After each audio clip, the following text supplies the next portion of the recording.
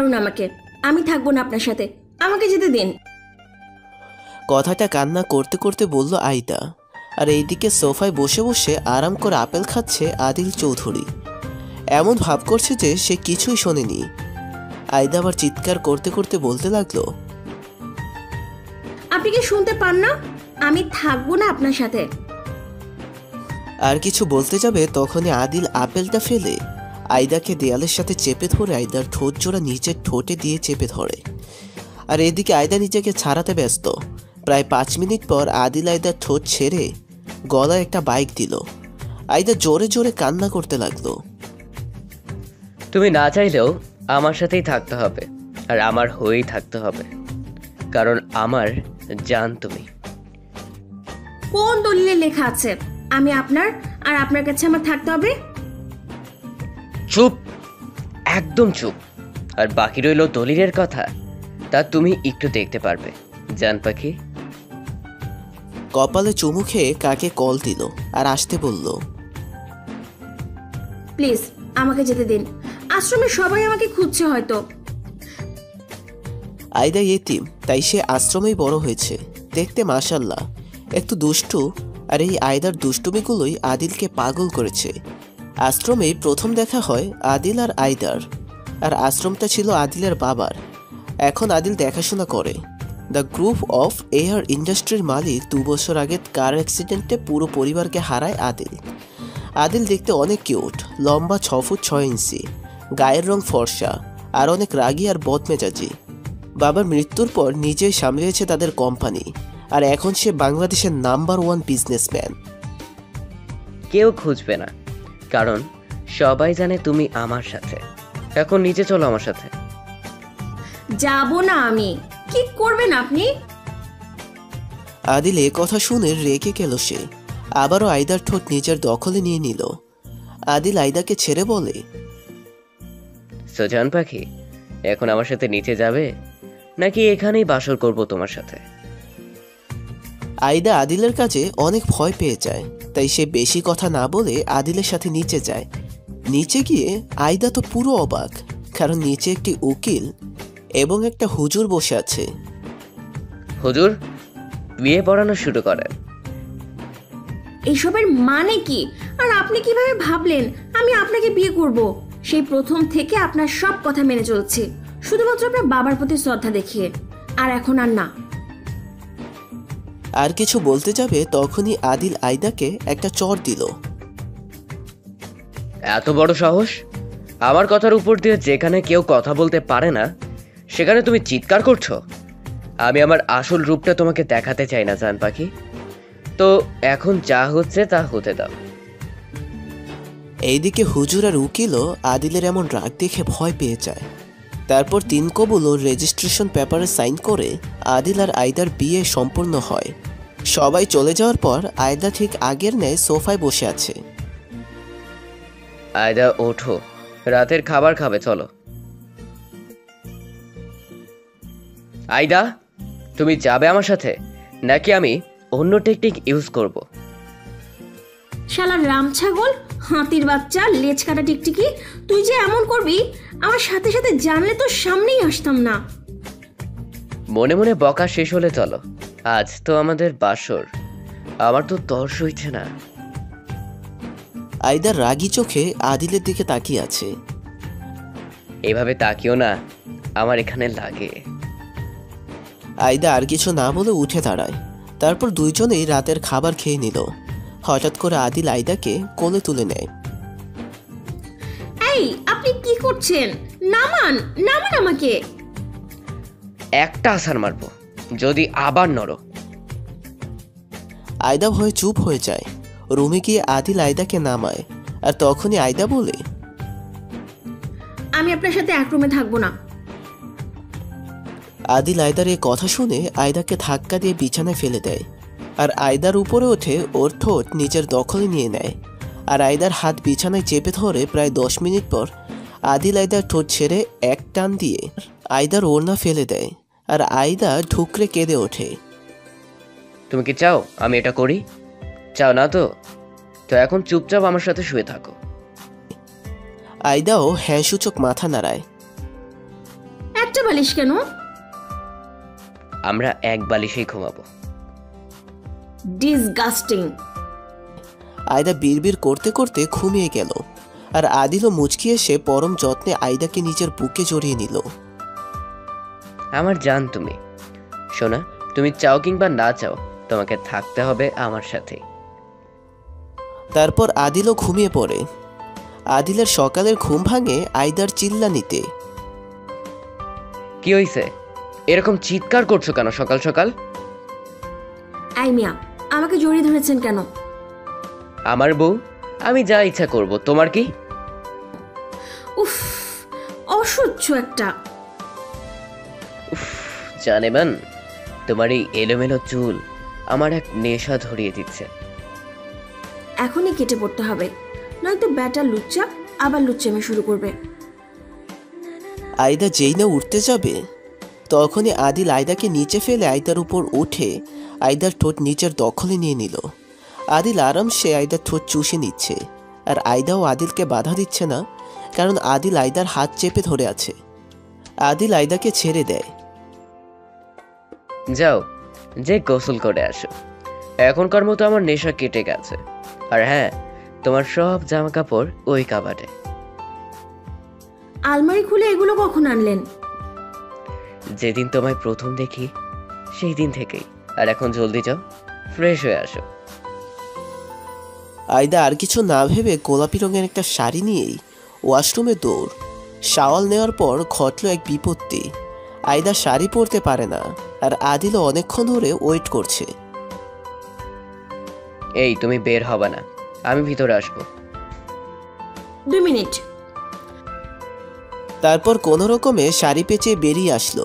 আদিল বিছানায় বসে বসে ফোনে গেম খেলছিল। ওয়াশরুমের দরজা খোলার আওয়াজে সামনে তাকায় আর আইদাকে দেখে হেসে গড়াগড়ি খাওয়ার অবস্থা।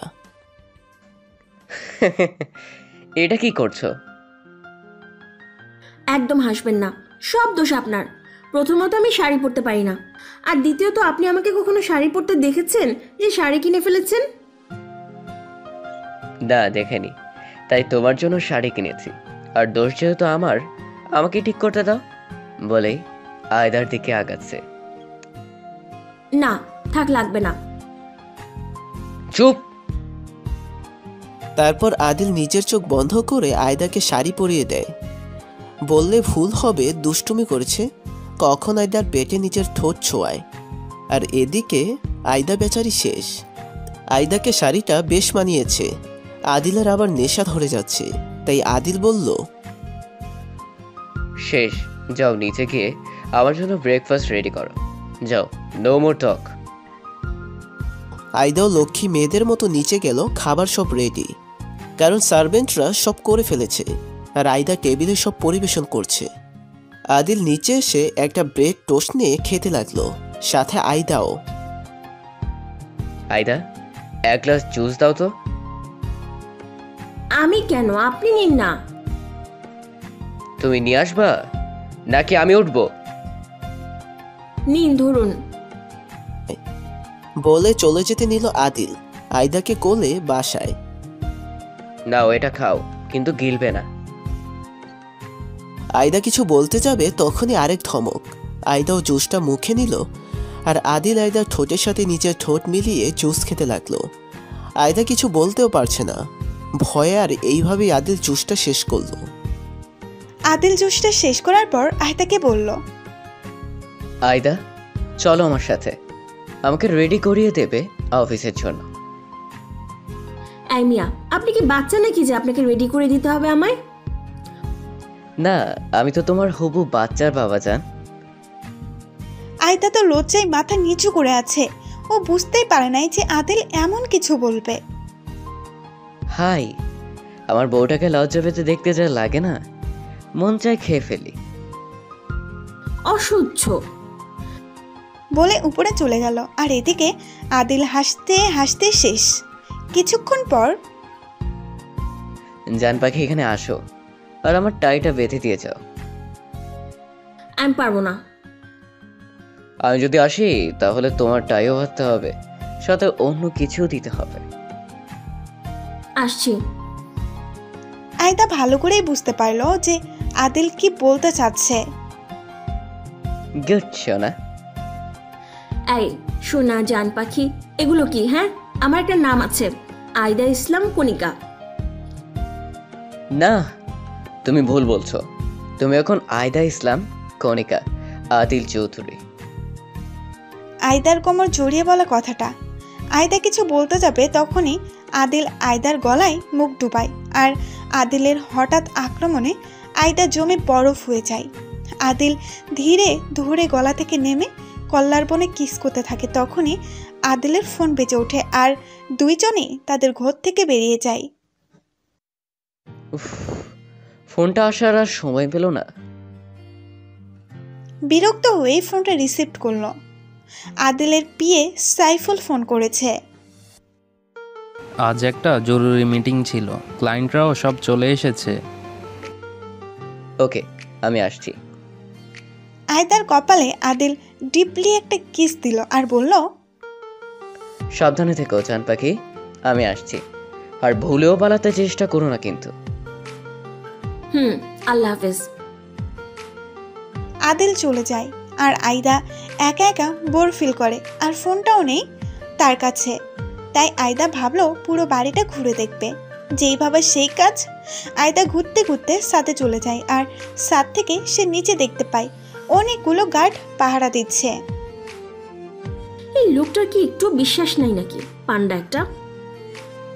রাতে আদিল অফিস থেকে এসে দেখে আয়দার সোফায় বসে বসে চকলেট খাচ্ছে। তাই দেখে আদিল বলল আমার জান পাখিটা কি করে? কি করছি দেখেন না। এই মেয়ে চুপ একদম চুপ। সোজা কথার বাঁকা উত্তর দাও কেন সব সময় এরপর যদি এমন কিছু করো আমার চেয়ে খারাপ কেউ হবে না। বলেই আদিল উপরে চলে গেল। আদিলের এমন ব্যবহারে আয়দা অনেক কষ্ট পায়। কিছুক্ষণ পর আদিল নিচে নেমে আসে আর বলে এই মেয়ে তুমি জানো না? হাজব্যান্ড অফিস থেকে আসলে পরে খেতে দিতে হয়? সরি এখনই দিচ্ছি। তুমি বসো। হুম। আদিল বুঝতে পারল আয়দা ওর ব্যবহারে অনেক কষ্ট পেয়েছে। খাওয়ার পর আদিল কিছু না বলে রুমে চলে গেল। পেছন পেছন আয়দাও গেল। কালকের মতো খাটে একটাই বালিশ। আয়দা কিচ্ছু বলল না। চুপচাপ শুয়ে পড়ল। আদিল পেছন থেকে আয়দাকে জড়িয়ে ধরে বলল সরি জান পাখি। কিন্তু আয়দা কিছুই বলল না। আদিল বুঝতে পারল আয়দা অনেক রাগ করেছে। সরি না জান পাখি। আপনি অনেক খারাপ। শুধু বকা দেন আর ভয় দেখান। আমার কি আগে বিয়ে হয়েছে নাকি? যে আমি সব জানব? আমাকে তো বললেন আমি কেমন বউ। তাহলে আপনি কেমন হাজবেন্ড এই মেয়ে চুপ একদম চুপ। কান্না করলে এখনই মাটিতে পুঁতে ফেলব। আবার বকে সারাদিন একবারও খোঁজ নিয়েছেন আমার? আমি আগে আগে কি করেছি? কথাই বলব না। আদিল এবার বুঝতে পারল তখন আয়দা এমন কেন করেছে। আদিল আরেকটা ব্যাপারও লক্ষ্য করেছে আয়দা এখন তার সাথে অনেক সুন্দর করে সব শেয়ার করছে। কে বলেছে? আমি আমার জানটার খবর নেই নাই। আমি তো তোমাকে ল্যাপটপে দেখেছি শোনা একটা কথা বলি রাখবেন? হুম বলো কি চাও তুমি? আমার একা একা বাসা ভালো লাগে না। তাই বলছি কি আপনি যখন অফিসে যাবেন আমাকে একটু আশ্রমে নামিয়ে দিয়ে যেন প্লিজ। প্রমিস করছি পালানোর জন্য চেষ্টা করব না। আদিল কিছু সময় ভাবলো তারপর বলল কেন যাবে? ওখানে আমার ফ্রেন্ড নীলিমা রাবিয়া আয়েশা অনেকেই আছে। ওকে এখন ঘুমাও। বলে আয়দাকে নিজের থেকে ঘুরিয়ে তার ঠোঁট ছোড়া নিজের ঠোঁট দিয়ে চেপে ধরে। প্রায় পাঁচ মিনিট পর ছাড়লো আয়দাকে। আয়দাও কিচ্ছু বলল না কারণ আদেল তার হাজব্যান্ড আয়দাকে তার কাছেই থাকতে হবে। সকালে উঠে আদিল আর আয়দা ব্রেকফাস্ট করে। তারপর আয়দাকে আশ্রমে দিয়ে আদিল অফিসে চলে যায়। কি রে কেমন আছিস? তারপর বান্ধবী বাসর কেমন কাটলো? উফ কি শুরু করলি তোরা? এইসব বাদ দে এটা বল অনেক কোথায়? অনেক আয়দার ছোট ভাইয়ের মতো আয়দার চেয়ে দুই বছরের ছোট। ও তো একটা কাজে বাহিরে গেছে বিকালের দিকে এসে পড়বে। ওকে। হঠাৎ করে পেছন থেকে নীলিমা আয়তাকে জড়িয়ে ধরে। তুই এখানে? হুম দেখতে আসলাম। বিয়ের পর তো আর তোদের সাথে কোনো যোগাযোগই হয়নি। আয়দা তুই যে এমনভাবে বিয়ে করে নিবি ভাবতে পারিনি। আর বাদ দে না সব এতদিন পর দেখা। তারপর ওরা সারা দিন গল্প করে কাটিয়ে দেয়। আজ আদিল অফিসের কাজ তাড়াতাড়ি করে আয়দাকে নিতে আসে কিন্তু আদিল আশ্রমে এসে যা দেখল তাতে আদিল রেগে ফায়ার। একটা ছেলে আয়দাকে জড়িয়ে ধরে আছে আর আয়দাও তাকে জড়িয়ে ধরে হাসছে আর কথা বলছে। আদিল গিয়ে ঠাস করে একটা চড় দিয়ে বলে এর জন্য তোর বাসায় ভালো লাগে না? আমার কথাটা তো শুনুন। আয়দা আবার কিছু বলতে যাবে তার আগে আবার আদিল আরেকটা চড় দিয়ে বলে আমার আগেই বোঝা উচিত ছিল। তোর মতো একটা জারজ মেয়ের থেকে কি আর আশা করা যায়? আইদা জারজ কথাটা শুনেই চুপ হয়ে যায়। ভাইয়া আপনি ভুল ভাবছেন। আমার সামনে থেকে এখন তুই সর নয়তো তোকে খুন করে ফেলব। এদিকে আশ্রমে ছোটখাটো একটা ভিড় জমা হয়ে গেছে। আদিলকে কেউ কিচ্ছু বলতে পারছে না ভয়ে। আদিল আয়দার হাত টানতে টানতে গাড়িতে বসায় এবং কোমর থেকে বেলটা খুলে আয়দাকে ইচ্ছে মতো মারে। আয়দাও কোনো ট্রু শব্দ পর্যন্ত করেনি। নিঃশব্দে চোখে জল ফেলেছে। প্রায় এক ঘণ্টা পর আদিল আয়দাকে নিয়ে বাসায় নিয়ে আসে। আদিল আয়দাকে ছেড়ে ফ্রেশ হতে চলে গেল আর আয়দা এখনও আগের নাই বিছানায় শুয়ে শুয়ে চোখে জল ফেলছে। আদিল কিছুক্ষণ পর ফ্রেশ হয়ে বাসা থেকে বেরিয়ে যায়। আয়দাও অনেক কষ্টে উঠে দাঁড়ায়। থাকবে না আদিলের সাথে। তাই একটা চিঠি লিখে বেরিয়ে যায় আদিলের রাজ্য থেকে। আয়দার যাওয়ার কোনো জায়গা নেই। তাই তার দু চোখ যেদিকে চলে যায় সেদিকেই যাবে। থাকবে না এই শহরে। এদিকে আদিল বাসায় এসে দেখে পুরো বাসা খালি। তাই আদিল ভাবলো, আয়দা হয়তো সাথে গেছে, কিন্তু কিন্তু আদিল আয়দাকে সাথে পেল না। পুরো বাড়ি খোঁজার পরেও আয়দার কোনো হদিস পেল না আদিল। আদিল ভাবলো হয়তো আবার সে অনেকের কাছে চলে গেছে। আজকে ওকে মেরে আমি নিজেও মরে যাব। কিসে কমতি ছিল ওর? বলেই বেরিয়ে গেল আশ্রমের উদ্দেশ্যে। আশ্রমে অনেক আয়সা রাবিয়া বিকেলের কথা বলা বলি করছে। আদিল স্যার কিন্তু অকারণে আয়দাকে মারলো। অনেক তো আমাদের ছোট ভাইয়ের মতো। হঠাৎ করে আদিল এসে বলে এই ছেলে আয়দা কোথায়? ভাইয়া আপু কোথায়? আমি তো জানি না। আপু মানে? স্যার আসলে আয়দা অনেককে নিজের ছোট ভাইয়ের মতো আদর করে। আর হ্যাঁ অনেক আয়দার চেয়ে দুই বছরের ছোট স্যার। ভাইয়া আপনি আমাদের ভুল ভেবেছেন। আমাকে আগে বলনি কেন? আপনি তো আয়দাদের কথা শুনেননি। আমাদের কথা কি শুনতেন? আদিল আর কিছু না ভেবেই বেরিয়ে গেল আশ্রম থেকে। আর এদিকে আয়দা রেল গাড়িতে বসে আছে। কোথায় যাবে তার কোনো জানা নেই। হঠাৎ কেউ আয়দার কাঁধে হাত রাখে। আয়দা পেছনে ফিরে যাকে দেখে তাকে ধরে টুকরে কেঁদে ওঠে। আয়দা নীলিমাকে ধরে কাঁদছে। নীলিমার নীরব আয়দাকে শান্ত করাতে ব্যস্ত। নীলিমার নীরব রাজশাহী যাচ্ছিল। তখনই আয়দাকে দেখে কি হয়েছে? তুই এখানে কেন? আর কীভাবে? আয়দা তারপর নীরব আর নীলিমাকে সব খুলে বলে ভাইয়া কাজটা ঠিক করেনি। এখন কি করবি তুই? জানি না। নীরব আয়দাকে আমাদের সাথে নিয়ে যাই। তুমিও তো সারাদিন অফিসে থাকো। আমি আরও একসাথে থাকতে পারব। আর আম্মুও তো গ্রামেই থাকে। হ্যাঁ তাই ভালো হবে। না ভাইয়া শুধু শুধু। চুপ তুই আমার বোনের মতো আর কোনো কথা নয়।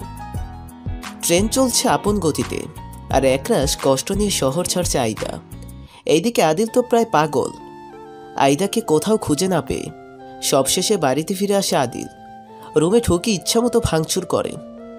হঠাৎ নজর যায় বিছানার পাশের ছোট ডয়ারের উপর একটা কাগজে কি যেন লেখা। আদিল কাগজটা পড়তে লাগল। চলে যাচ্ছি আমি, আর কোনোদিনও ফিরে আসব না। আজ আপনাকে কিছু কথা বলতে চাই। আপনার উপরে দুর্বল সেই প্রথম থেকেই। কিন্তু এটাই কি ভালোবাসা কি না, তা আমার জানা নেই। মনে পড়ে, যেদিন আপনার সাথে প্রথম দেখা, ভুলে আপনার গায়ে চা পড়ে গিয়েছিল।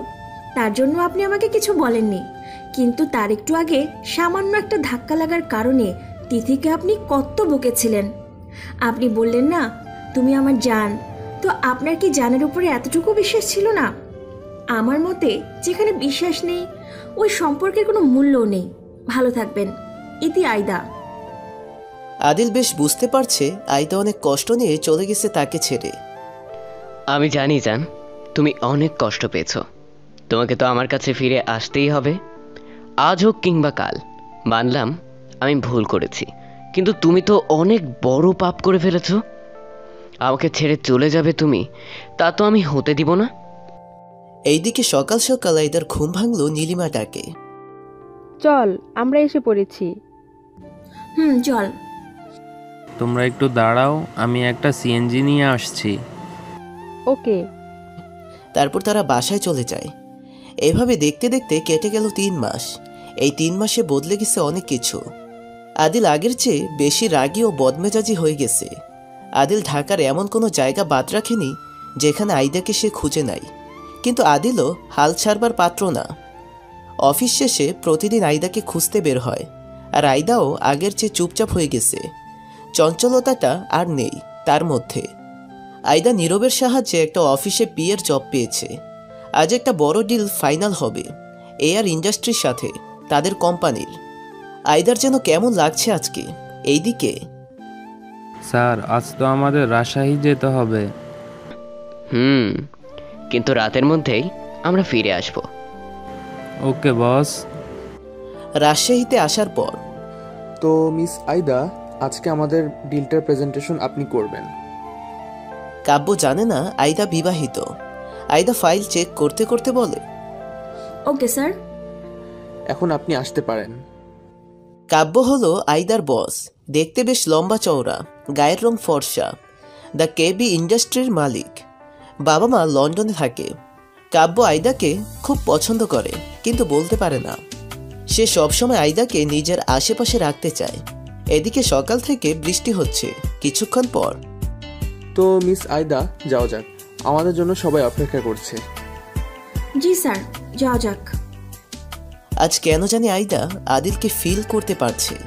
আর অপরদিকে আদিলের যেন কেন মনে হচ্ছে আইদা তার আশেপাশে আছে। আদিলের ধ্যান ভাঙল দরজা খোলার আওয়াজে। দরজার দিকে তাকিয়ে আদিল দাঁড়িয়ে যায়, যার কারণে সে বিশ্বাস করতে পারছে না। তার যান তার সামনে। আর এইদিকে আইদার তো আদিলকে দেখে রীতিমতো কাঁপাকাঁপি শুরু হয়ে গেছে। কাব্য আদিলের দিকে হাত বাড়িয়ে দিল হ্যান্ডশেক করার জন্য। Hi mister Adil. ও হাই। আদিল তাকিয়ে আছে আইদার দিকে আর আয়দা নিচের দিকে। আদিলের মন চাচ্ছে এখনই আয়দাকে জড়িয়ে ধরতে। কাব্য খেয়াল করল আদিল আয়দার দিকে তাকিয়ে আছে। ও আমার পা মিস আইদা কাব্যর মুখে মিস কথাটা শুনে আদিল রেগে গেল কিন্তু কিছু বলল না। Hi miss Aida hi. তো শুরু করা যাক। তারপর আইদাদের সাথে আদিলদের সাথে ডিলটা ফাইনাল হলো। আদিল আর আইদার বিয়ের ব্যাপারটা আশ্রমের বাহিরে। আর ওরা দুজন ছাড়া কেউ কিছু জানে না। সাইফুল আমরা ঢাকা ব্যাক করব না। যতদিন না প্রজেক্টটা শেষ হচ্ছে। কিন্তু স্যার নো মো টক আর শুনো আইদার সব ডিটেলস আমার চাই। ও কোথায় থাকে কার সাথে থাকে? বলে কেবিন থেকে বেরিয়ে গেল। কেবিন থেকে বেরিয়ে আদিল দেখল আইদা কোথাও একটা যাচ্ছে।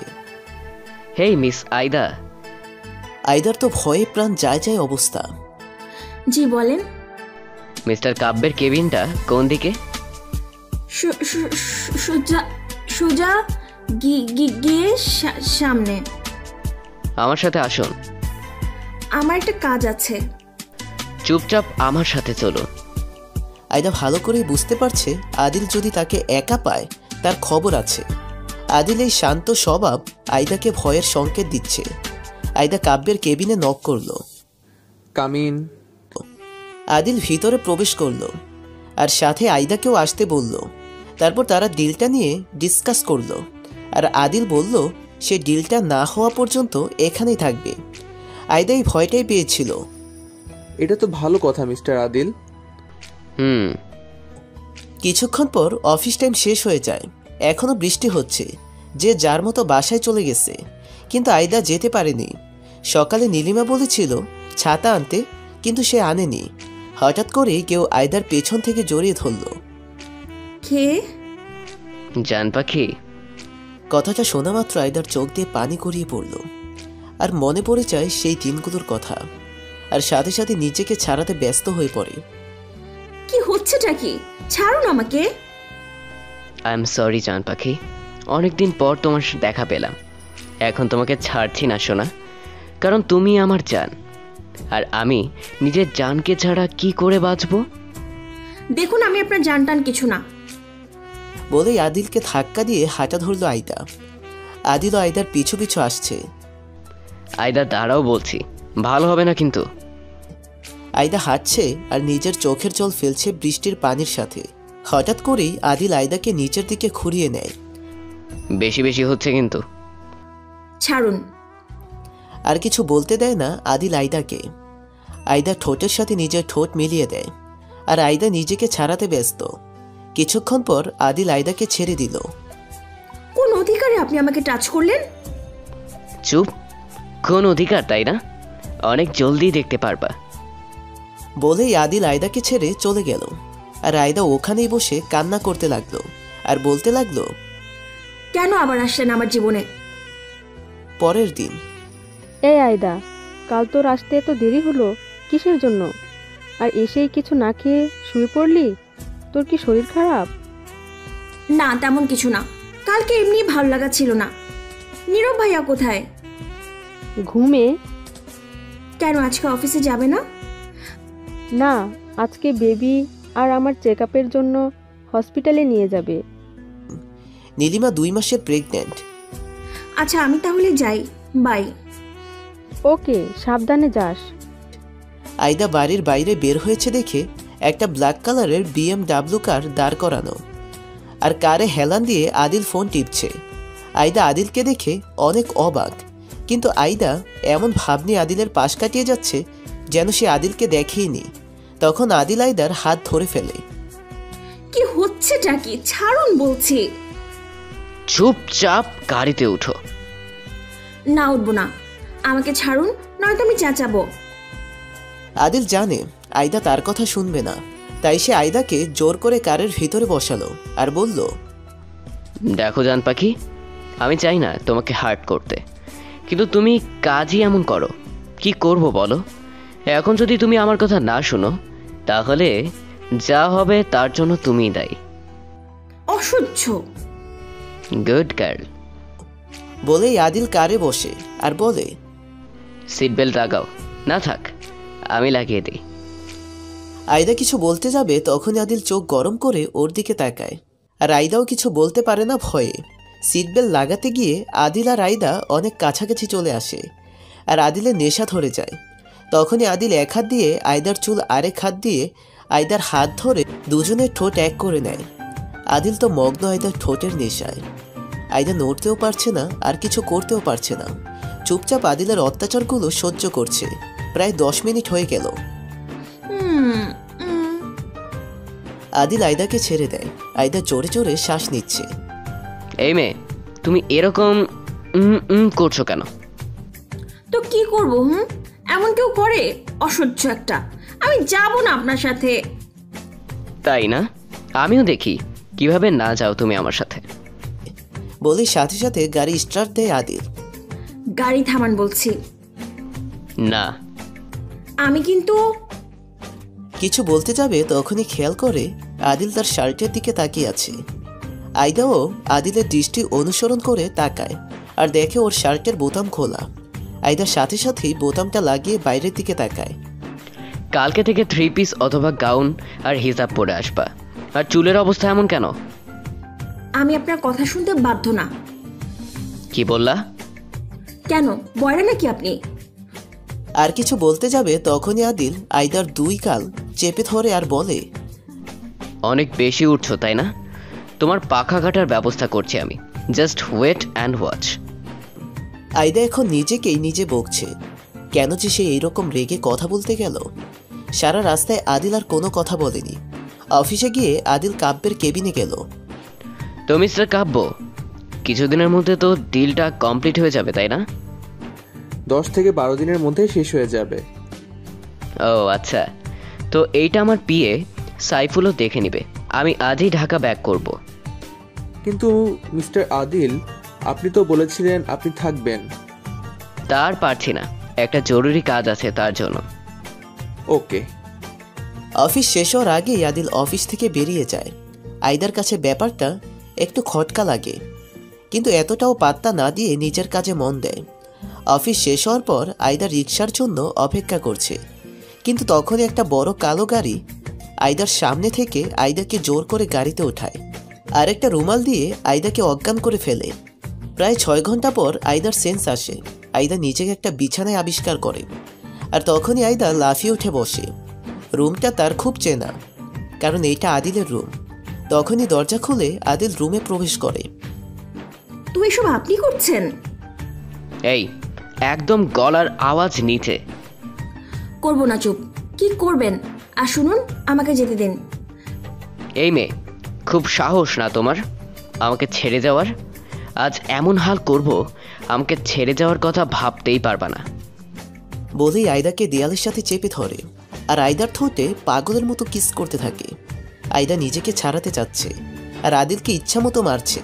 আদিল আয়দাকে কোলে নিয়ে বিছানায় ফেলে আয়দার উপরে উঠে যায়। প্লিজ আমাকে ছেড়ে দিন। এই কথা শোনার সাথে সাথে আদিল আরও রেগে যায়। আদিল আর কিছু না ভেবে আয়দার বুকে মুখ ডুবায় আর এক হাত দিয়ে আয়দার হাত চেপে ধরে। আয়দা কান্না করছে আর বলছে প্লিজ না আমাকে যেতে দিন। আদিল আয়দার কোনো কথায় কান দেয়নি। আদিল তো চেয়েছিল সব আয়দার সম্মতিতেই হোক। আপনি অনেক খারাপ। আই হেট ইউ তখন আদিল নিজের ভর আয়দার উপর ছেড়ে দেয়। হ্যাঁ আমি জানি আমি খারাপ বাট লাভ ইউ জান পাখি। বলেই ব্যস্ত হয়ে যায় নিজের কাজে। আর এইদিকে রাজশাহীতে কাব্য জানতে পারে যে কেউ আয়দাকে কিডন্যাপ করেছে। তখন থেকে শুরু হয়েছে কাব্যের পাগলামি। পুরো রাজশাহী শহর তন্ন তন্ন করে খুঁজছে সে আয়দাকে। রাত প্রায় একটা তিরিশ মিনিট। আপনি অনেক খারাপ। আমার খুব কষ্ট হচ্ছে আমাকে ছেড়ে দিন। আদিলও আর পারবে না আয়দাকে কষ্ট দিতে। তাই আদিল আয়দার কপালে ডিপলি একটা কিস করে আর আয়দাকে ছেড়ে উঠে দাঁড়ায়। আয়দা অনেক কষ্টে বেডশিটটা গায়ে পেঁচিয়ে উঠে বসে। আদিল কাবার থেকে আয়দার জন্য লাল রঙের একটা শাড়ি বের করে দেয়। আয়দাও সেটা নিয়ে চুপচাপ ওয়াশরুমের দিকে পা বাড়ায়। ওয়াশরুমে আয়নার সামনে দাঁড়িয়ে আয়দা নিজেকে দেখে দুকরে কেঁদে ওঠে। গলায় ঘাড়ে, বুকে অসংখ্য কামড়ের দাগ। আয়দা ভাবছে, ওই দিন যদি আদিল সে কাজটা না করতো, হয়তো আজকের রাতটা অন্যরকম আনন্দের হতো। এইসব ভাবতে ভাবতেই আয়দা ফ্রেশ হয়ে বাইরে আসে, কিন্তু আদিলের দিকে তাকায় না। আদিলও ফ্রেশ হতে চলে যায়। ফ্রেশ হয়ে বের হয়ে দেখে আয়দা খাটে হেলান দিয়ে ঘুমিয়ে পড়েছে। আয়দার ভেজা চুল আদিলকে খুব কাছে টানছে। লোকটা সামলাতে না পেরে আদিল আয়দার চুলে মুখ গুজে। কারও স্পর্শে আয়দার ঘুম ভেঙে যায়। আর আয়দা ভয়ে আদিলকে ধাক্কা দিয়ে ফেলে দিয়ে বিছানার শেষ প্রান্তে চলে যায়। কি হয়েছে তোমার? এমন কেন করছ জান পাখি? আয়দা কিছু না বলে রুমের দরজাটা খুলে বেরিয়ে যায়। আল্লাহ! এত ঘাড়তারা মেয়ে আমি দুইটা দেখি নাই। বলেই আয়দার পিছন পিছন যেতে লাগল। আর এইদিকে রাজশাহীতে নীলিমা ও নীরব টেনশনে শেষ। আয়দা কোথায় গেল? কেমন আছে? নীলিমা তো কান্নাকাটি জুড়ে দিয়েছে। আহ নীলিমা তুমি কান্না করলে বেবির ক্ষতি হবে। কান্না করো না সোনা। বলেই জড়িয়ে ধরল নীলিমাকে। আর সবচেয়ে খারাপ অবস্থা কাব্যের। কাব্য পুরো রাজশাহী শহর খুঁজে ফেলেছে কিন্তু আয়দাকে পায় না। পুরো বাড়ি তছনছ করে ফেলেছে। আর গার্ডদের প্রতি তার রাগ আছেই। কাব্য ড্রিঙ্ক করে মাতাল হয়ে গাড়ি চালাচ্ছিল। আর তখনই একটা ট্রাকের সাথে ধাক্কা খেয়ে সাপোর্ট ডেট হয় তার। এইদিকে আয়দা এইদিকে আয়দা আদিলের সাথে রাগ করে ছাদে চলে এসেছে। হঠাৎ করেই আদিল আয়দাকে জড়িয়ে ধরে। কি হয়েছে এখন আপনার স্বাদ মিটে নাই। না এই জন্মেও মিটবে না। অনেক রাত হয়েছে ঘুমাবে চলো। যাব না আমি আপনার সাথে। যান বলছি এখান থেকে। অকারণে নিজের এনার্জি লস করছ। পেরেছ আমাকে আটকাতে? পারো নাই তো? বলেই আয়দাকে কোলে তুলে নিল। আয়দাও কিছু বলল না। যদি হিতে বিপরীত হয় আদিল আয়দাকে খাটে নামিয়ে নিজের টি শার্টটা হাতে দেয়। খবরদার একদম না। ওকে ওকে কিছু করব না। চুপচাপ ঘুমাও। তাই বলে আদিল আয়দাকে জড়িয়ে ধরে শুয়ে পড়ে। সকালে আদিল ঘুম থেকে উঠে দেখে আয়দা নেই। একটা ভয় আঁকড়ে ধরলো আদিলকে। সে জলদি নিচে গেল। যে দেখে আয়দা কারোর সাথে ফোনে কথা বলছে। নীলিমা টেনশন করিস না। আমি ঢাকায় ফিরে এসেছি। আর ধন্যবাদ রে তোকে। কিন্তু কীভাবে? কি হলো? পরে বলব এখন হ্যাঁ? রাখি কেমন? ভালো থাকিস আর সাবধানে থাকিস। ওকে। কার সাথে কথা বলছিলে জান পাখি? এতদিন যার সাথে ছিলাম? বলেই উঠে যেতে নিলে আদিল আয়দার আঁচল ধরে টান দেয়। কি হইছে? আমার ক্ষুধা লাগছে।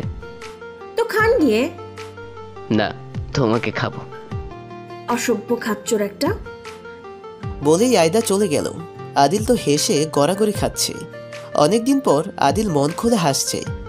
আইদা কবে তুমি আমাকে বুঝবে? হয়তো কাল রাতের জন্য আমাকে আরও সময় লাগবে তোমার রাগ ভাঙাতে। কিন্তু তুমি আমাকে ছেড়ে যেতে পারবে না।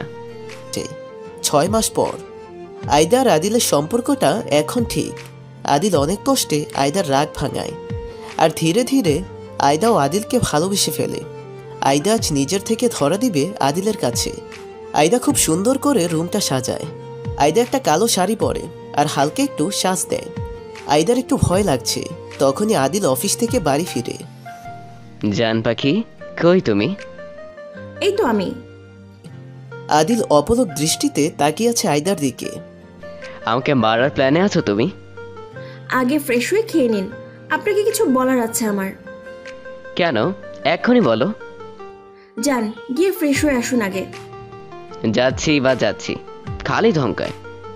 এই এই আমাদের রুমে না পাশের রুমে যান। আপনার জন্য জামা রেখে এসেছি ফ্রেশ হয়ে আসুন। ভুলেও আমাদের রুমে যাবেন না। কেন? নো মোর টক আদিল অপলক আদিল অপলক দৃষ্টিতে তাকিয়ে আছে আয়দার দিকে। আদিলও চুপচাপ ফ্রেশ হতে যায় আর দেখে একটা কালো রঙের পাঞ্জাবি আর একটা পাজামা। ফ্রেশ হয়ে আদিল পাঞ্জাবি আর পাজামাটা পরে নিচে নামে। আদিল খাওয়ার সময় দেখে সব আদিলের পছন্দের খাবার। খাওয়া শেষে আয়দা আদিলের চোখ বাঁধে। কি করছ জান পাখি? চুপচাপ আমার সাথে চলুন। ওকে আয়দা রুমে গিয়ে চোখ খুলে দেয়। আর আদিলের সামনে একটা লাল গোলাপ নিয়ে হাঁটু গেড়ে বসে বলতে থাকে আপনাকে ভালোবাসতে আমার ভয় লাগতো আপনার রাগের জন্য। তাই আপনার থেকে দূরে দূরে থাকতাম। কিন্তু এখন আমার আপনাকে চাই। আর সব কিছুর জন্য আমাকে ক্ষমা করে দিন। আমি আপনাকে অনেক ভালোবাসি। আমার জান তুমি। তোমার জায়গা নিচে না আমার বুকে। আদিল আয়দাকে বুকে টেনে নেয়। তারপর আয়দা আদিলের বুকে মুখ লুকালো। আদিল আয়দাকে পরম আবেশে চড়িয়ে নিল।